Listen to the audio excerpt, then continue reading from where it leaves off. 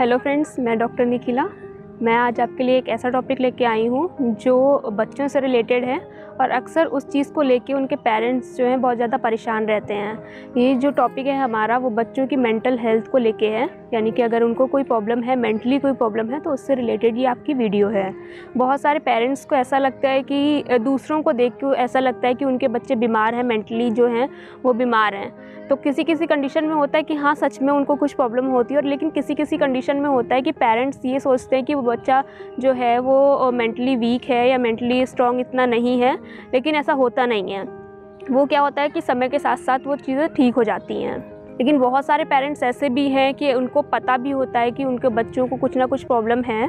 तो उनके बच्चों पे क्या होता है कि बहुत सारे लोग ऐसे होते हैं कि समाज की वजह से वो डॉक्टर के पास नहीं जाते हैं और उनका चेकअप नहीं करवाते हैं। ठीक है सो बहुत सारी कंडीशन ऐसी होती हैं।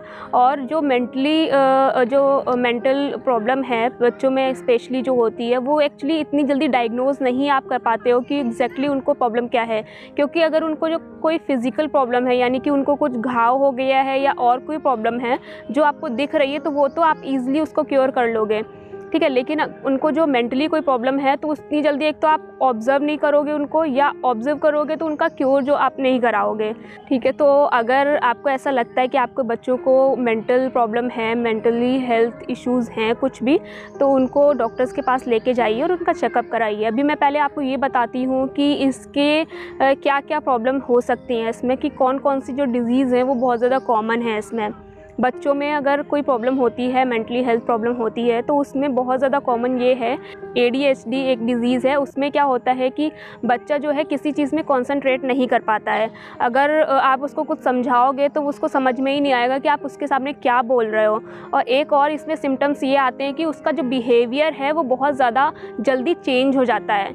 अगर वो इस टाइम पे उसको कुछ कर रहा है, और उसको वो चीज़ें पसंद आ रही हैं, और सडन ही उसको क्या होता है कि उस चीज़ से नफ़रत हो जाती है। ये भी एक सिम्टम उसमें आता है, और बहुत ज़्यादा हाइपर एक्टिव होते हैं ये जो बच्चे होते हैं। ठीक है, ना आपकी वो सुनते हैं, या तो अपना ही बोलते रहेंगे, या इधर उधर भागते रहेंगे, बहुत ज़्यादा बहुत ज़्यादा एक्टिव होते हैं। तो अगर ये सारी सिम्टम्स उनको लग रहे हैं, आपको लग रहे हैं कि आपके बच्चे में है तो आप समझ लीजिए कि उनको कुछ ना कुछ मेंटल से रिलेटेड कोई प्रॉब्लम है। इसके अलावा और भी प्रॉब्लम्स होती हैं। एक तो ऑटिज़म की जो प्रॉब्लम है, ठीक है, वो बहुत ज़्यादा कॉमन हो गई है। ठीक ऑटिज़म में बच्चे क्या होते हैं कि आई टू आई कांटेक्ट नहीं करते हैं। अगर आप उनसे कुछ भी पूछोगे या कुछ भी उनको बताओगे तो वो आपकी तरफ़ नहीं देखेंगे। वो हमेशा इधर उधर देखते रहेंगे, ठीक है, और उनका बिहेवियर भी बहुत जल्दी चेंज हो जाता है। या वो आपसे ऐसे सवाल करना स्टार्ट कर देंगे जिनके आंसर आपको देना बहुत मुश्किल हो जाएगा या आप उससे एम्बेरस हो जाओगे कि वो बच्चे क्या ही पूछ रहे हैं। ठीक है, इसमें ये सारे सिम्टम्स आते हैं।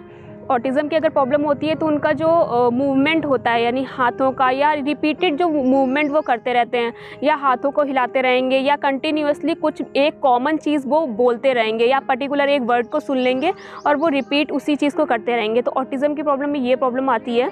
और भी और ये डिज़ीज़ होती है कि और जो ये प्रॉब्लम है मूड की जो प्रॉब्लम होती है मूड डिसऑर्डर जो होते हैं, यानी कि बच्चों का जो मूड होता है वो सडन से चेंज होना।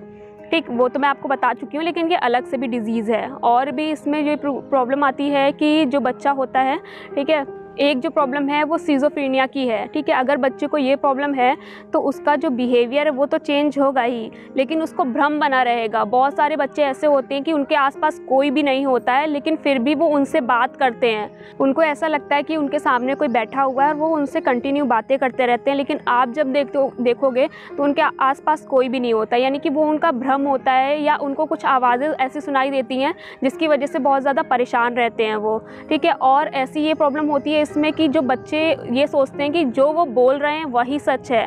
उनको ऐसा लगता है कि उनको कुछ चीज़ें सुनाई दे रही हैं जिसकी वजह से बहुत ज़्यादा वो परेशान होते हैं। वो आपको कई बार बोलते हैं कि उन्हें कुछ सुनाई दे रहा है, पर आप क्या करते हो कि इग्नोर कर देते हो उन सारी चीज़ों को कि बच्चे ऐसे ही शरारत करने के लिए ऐसी चीज़ें बोल रहे होंगे। लेकिन ये एक्चुअली में प्रॉब्लम होती है, ठीक है? और एक प्रॉब्लम है एनजाइटी डिसऑर्डर एनजाइटी डिसऑर्डर में ये होता है कि बहुत ज़्यादा क्या होते हैं, आपके बच्चे जो होते हैं, अगर आप किसी से इंट्रोड्यूस कराओगे उनका तो वो उनसे डरेंगे। उनको लगता है कि पता नहीं कौन है वो। वो मोस्टली क्या होता है कि अगर आप उनको स्कूल भेजते हैं तो वहाँ पे बहुत सारे लोग होते हैं तो उनसे वो इंटरेक्ट नहीं करते हैं, उनसे वो बात नहीं करते हैं, उनसे वो डरते हैं, उनको ये लगता है कि वो उनके दुश्मन हैं। मतलब कि और वो कुछ अगर खाने के लिए भी देते हैं बच्चे को या पीने के लिए देते हैं तो उनको लगता है कि उसमें कुछ मिक्स किया हुआ है, वो उनके लिए सेफ़ नहीं है। और इस कंडीशन में कभी कभी ये होता है कि वो अपने पेरेंट्स को भी वो समझते हैं कि उनके लिए वो हार्मफुल हैं। तो ये सारी कंडीशन होती हैं कि आपका बच्चा अगर इन सारी कंडीशन से जूझ रहा है, अगर आपको लगता है कि आपके बच्चे को इनमें से कोई भी प्रॉब्लम है, ठीक है तो आप उनमें नोटिस करिए। अगर वो एक दिन कर रहा है, ऐसी चीज़ें दो दिन कर रहा है तो वो नॉर्मल है, उसमें कोई प्रॉब्लम नहीं है। लेकिन आप उसको ऑब्ज़र्व करिए, अगर कंटिन्यूस दो तीन वीक तक वही चीज़ें होती रहती हैं, ठीक है तो आपको ज़रूर दिखाना चाहिए डॉक्टर्स को। लेकिन कुछ बच्चे क्या होते हैं कि टीवी में देख के या कार्टून वगैरह देख के उनको वो शरारत सूझती है और उनको वो रिपीटेड करते रहते हैं वो चीज़ें। जैसे मान लीजिए अगर आपको किसी को, बच्चे को स्कूल भेजना है और वो स्कूल के टाइम पे ही कुछ ऐसी शरारत करता है जिससे आप घबरा जाते हैं और आपको ऐसा लगता है कि मेरे बच्चे को कुछ प्रॉब्लम है तो वो चीज़ें थोड़ा सा ऑब्ज़र्व करने की ज़रूरत है, क्योंकि आप उनके साथ हमेशा रहते हैं तो आप ही इस चीज़ को बहुत ज़्यादा बेटर देख सकते हैं कि आपके बच्चा जो कर रहा है, जो एक्टिविटी कर रहा है, उस वो सच में वो ऐसी उसकी प्रॉब्लम है या वो जान के वो चीज़ें कर रहा है। जो इनके कॉज हैं, मैं कॉज को बता देती हूँ कि किस किस रीज़न की वजह से ये प्रॉब्लम होती है। सबसे पहले तो है कि जो न्यूरॉन्स होते हैं, यानी कि जो ब्रेन से सिग्नल देते हैं आपकी बॉडी को या पर्टिकुलर किसी ऑर्गन को या बॉडी को कि उनको काम करना चाहिए। वो वो थोड़ा सा जो है वो उनका गड़बड़ हो जाता है। ठीक है, उसमें अगर कुछ प्रॉब्लम हो गई है तो भी ये प्रॉब्लम हो सकती है। क्रोमोसोमल एबनॉर्मलिटी होती है, यानी कि जब बच्चा बनता है तो उसमें जो क्रोमोसोम्स होते हैं, वो एबनॉर्मल होते हैं तो उसकी वजह से भी बच्चे को आगे चल के ये प्रॉब्लम हो सकती है। और जब माँ प्रेग्नेंट होती है, उस टाइम पे अगर कुछ, उसको कुछ इन्फेक्शन हुआ होता है, जैसे कि टॉर्च इन्फेक्शन अगर उसको होता है तो मे बी आपका बच्चा आगे चल के कुछ ना कुछ ऐसी बीमारी से ग्रसित हो जाए, जिसको ठीक करना इम्पॉसिबल हो जाता है। ठीक है? जिसमें से ऑटिज़म की जो प्रॉब्लम है, वो आपको पता चलते चलते तीन स्टार्टिंग में तो आप नहीं इतना ऑब्ज़र्व कर पाते हो क्योंकि छोटा बच्चा होता है, तब आप इतना नोटिस नहीं करते हो। लेकिन तीन साल तक आपको पता चल जाना चाहिए कि उसको एग्जैक्टली exactly प्रॉब्लम वही है या नहीं है।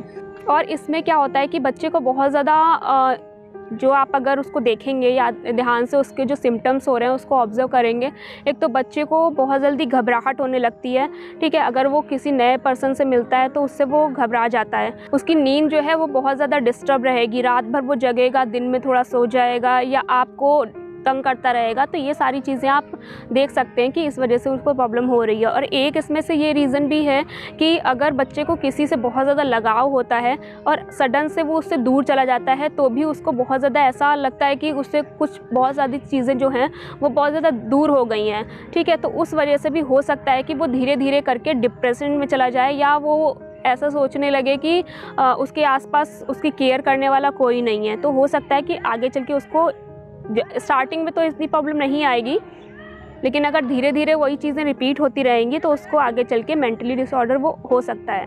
मैंने आपको ये सारे सिम्टम्स बताए हैं। अगर आपको ऐसा लगता है कि आपके बच्चे में कंटिन्यूस कुछ वीक तक ये सारे सिम्टम्स लगते हैं तो आप हमसे कांटेक्ट कर सकते हैं या हमारी क्लिनिक आके इस बारे में पूछ सकते हैं, ठीक है? और बहुत सारे फैक्टर ये भी होता है कि जो बच्चे का मानसिक विकास है, वो जब वो प्रेग्नेंट होती है माँ, उस टाइम से लेकर जो एज होती है सिक्सटीन सेवनटीन तक आप जिस जैसा जैसा उसको सिखाते हो, वो वही चीज़ें आपकी लर्न करता रहता है, ठीक है? तो अगर आप प्रेग्नेंट हैं तो आप ये ध्यान रखिए कि जो आपके अंदर बच्चा है, वो आप जो खा रहे हो, उससे उसको नरिशमेंट मिल रहा है, ठीक है? और उसका ब्रेन का डेवलपमेंट भी उससे ही हो रहा है, ठीक है? तो हम ये बोलते हैं कि अगर आप प्रेग्नेंट हैं तो एक घृत आता है कल्याणक घृत तो उसको खा सकते हैं, लेकिन हर किसी के लिए वो सूटेबल नहीं है, ठीक है? मैंने आपको बता दिया तो ये नहीं है कि हर प्रेग्नेंट लेडी के लिए वो सूटेबल है। अगर आप लेना चाहते हैं तो हमारे क्लिनिक कॉल करके पूछ सकते हैं।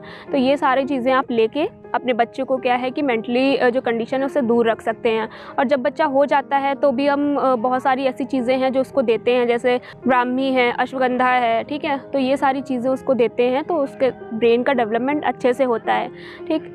और इसमें जो है, अगर आप चाहते हैं कि आपके बच्चे की इम्यूनिटी अच्छी हो और अच्छा जो है ब्रेन का विकास हो तो उसके लिए आप स्वर्ण प्राशन भी करा सकते हैं। ठीक है, परमानंद आयुर्वेदा में हम हर मंथ पुष्य नक्षत्र में स्वर्ण प्राशन की विधि करते हैं। ठीक है तो उसमें बच्चों को ड्रॉप्स दी जाती हैं, जिसमें सोना वगैरह मिक्स होता है तो उससे चल के उसकी इम्यूनिटी भी बूस्ट होती है और उसका ब्रेन का डेवलपमेंट बहुत अच्छे से होता है। तो ये जो है कि हम सोलह साल, सत्रह साल तक के बच्चों को ये हम देते हैं। तो आप हमारे क्लिनिक आके स्वर्ण प्राशन भी करवा सकते हैं। और आजकल क्या होता है कि जो स्वर्ण प्राशन जो है वो डेली देने लगे हैं, लेकिन अगर आप डेली देंगे तो ठीक है उसका है आपको असर जो बच्चे को दे रहे हैं तो उससे भी फ़ायदा है। लेकिन जो एक नक्षत्र बोला गया है, अगर उस पर आप ज़रूर देते हैं तो बहुत ज़्यादा बेनिफिशियल है। जो एक महीने में आप दे रहे हैं और एक दिन में वो दे रहे हैं तो उसका असर जो है वो मानिए कि एक ही जैसा होता है। अगर आप स्वर्ण प्राशन के बारे में और कुछ जानना चाहते हैं तो हमारी जो वीडियो है ये हमारे यूट्यूब चैनल पे है तो आप उसको वो देख सकते हैं और और भी जानकारी वहाँ से ले सकते हैं। और जैसे मैंने आपको बताया कि जब बच्चा छोटा होता है और उसकी एज जो है वो धीरे धीरे करके बढ़ती है, वैसे ही उसका जो ब्रेन का डेवलपमेंट होता है वो होता रहता है, ठीक है? तो आप उसके सामने जो भी एक्टिविटी करोगे, वो तो सीख जाता है, ठीक? तो अगर आपको ऐसा लगता है कि आपके बच्चे को इनमें से कोई भी प्रॉब्लम है तो आप उसके सामने ऐसा बिहेव करें कि उसको कुछ प्रॉब्लम नहीं है, पहली बात तो ये है। ठीक है, अगर उसको स्पीच की कोई प्रॉब्लम है तो स्पीच थेरेपीज़ भी होती हैं और आप घर पे भी जिस वर्ड पे या जिस सेंटेंस पे वो अटक रहा है तो उसको रिपीटेडली उसको बोलने के लिए बोलिए। ठीक है, क्योंकि आप ही इसमें ध्यान दे सकते हो, आप जो पेरेंट्स हैं, उसमें ही ध्यान दे सकते हो, क्योंकि आप उसके साथ 24 घंटे हो और आप उस की एक्टिविटी को बहुत अच्छे से देख सकते हैं, ठीक है? तो और अगर आपको लगता है कि कोई भी पर्टिकुलर सिम्टम्स उसमें शो हो रहे हैं तो उसको सुधारने की कोशिश करिए। अगर आपसे नहीं हो रहा है तो डॉक्टर्स को कॉल करके आप कंफर्म कर सकते हैं या क्लिनिक में विज़िट भी कर सकते हैं। अगर आपको ये सारे सिम्टम्स ऐसा लग रहा है कि आपके बच्चे को है, ठीक है? तो आप अच्छे से उसको वॉच करिए कि वो रिपीटेडली कितने टाइम कर रहा है, ठीक है? या सिर्फ़ एक दिन किया उसने और फिर नहीं कंटिन्यू कर रहा है या कब से कर रहा है, ठीक है? सारी चीज़ें आप देखिए और फिर आप डॉक्टर्स के पास जाइए और उनको सारी चीज़ें बताइए ताकि वो एक पर्टिकुलर डायग्नोज बना सकें और उसको ट्रीट कर सकें।